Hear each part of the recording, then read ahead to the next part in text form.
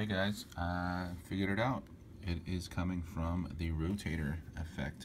Uh, even though I have nothing running through it, there is always this just constant sound of it, well, rotating. Uh, goes away. When you turn it off, and when you turn it on, gets going. And uh, just so you know, there is a mains hum effect. I don't even know why you'd want that, but basically get that low hum. But even with off, and then it seemed to go away. But uh, basically, depending on how you have this set and what you do with it, just know that this will cause some background noise. Cheers.